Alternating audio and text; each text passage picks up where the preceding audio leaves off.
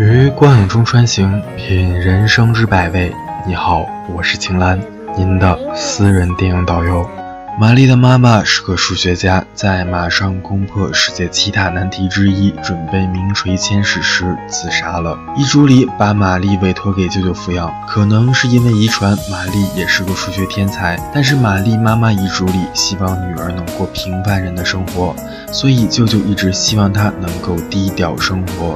这天，玛丽到了该入学的年纪，学校的女老师很快发现了玛丽在数学方面的天赋，并通过上网调查得知了玛丽的身世。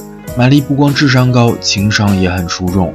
她在未受气包出头后，又帮助她在班里树立了地位，这样就不会再有人欺负她了。因为玛丽在学校的活跃表现，导致玛丽的外婆也听到风声，得知外孙女的下落，第一时间找到了舅舅，然后跟他谈判，说要把玛丽接走，并把她培养成妈妈的接班人，解开七大数学难题，然后名留青史，替家族争光。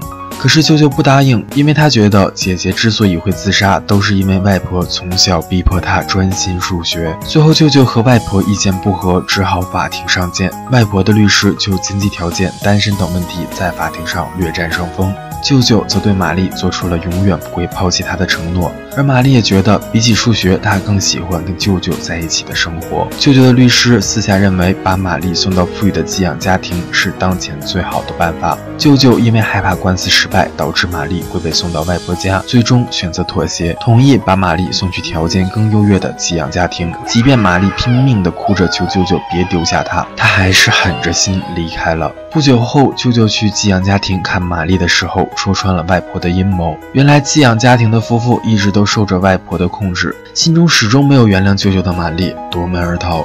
舅舅扔下一个文件就追了出去。外婆看到文件的署名是玛丽妈妈的名字戴安。另一边，玛丽一边哭着一边挥舞着拳头。舅舅一把将她抱在怀里。小姑娘哭着问：“你说过永远不会抛弃我的。”舅舅说：“我错了，再也不会了。”他又问：“那你之前为什么要抛下我？”舅舅说：“因为我之前觉得自己对你来说不够好，而现在我看到你已经这么出色了，那就证明我们在一起生活是对的。”回来后的舅舅对自己的母亲说：“姐姐已经解出了这道题，她想在你死后发表，作为对你的报复。而我现在觉得她未必是对的。接下来的时间你就忙着发表吧，孩子，我带走了。”外婆翻看着女儿满是泪痕的手稿，再也控制不住情绪，哭了出来。自己究竟都对女儿做了些什么呀？后来舅舅也改变了态度，再也不想遮掩玛丽的天赋，陪她去上大学。放学后则送她去跟同龄人玩耍。或许这对这个孩子来说才是最好的人生。我是青兰，求一波关注转发，我们下次见，拜拜。